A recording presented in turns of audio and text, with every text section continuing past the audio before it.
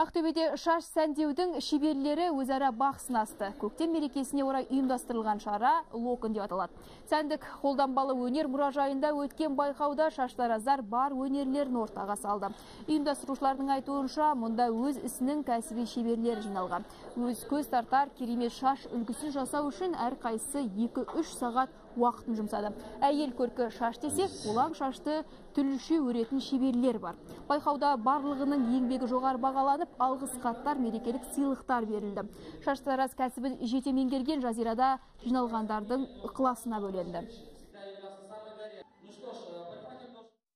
қазір әйел адамдар көбінесе өрімді сұрайды ә, сол сәнге айналып тұр әрине бұндай байқау керек өзіміздің өнерімізді көрсетіп сол жақсы өнерімізді көрсетіп үйренуге жұрттарға халыққа жақсы прическа жасауға керек деп ойлаймын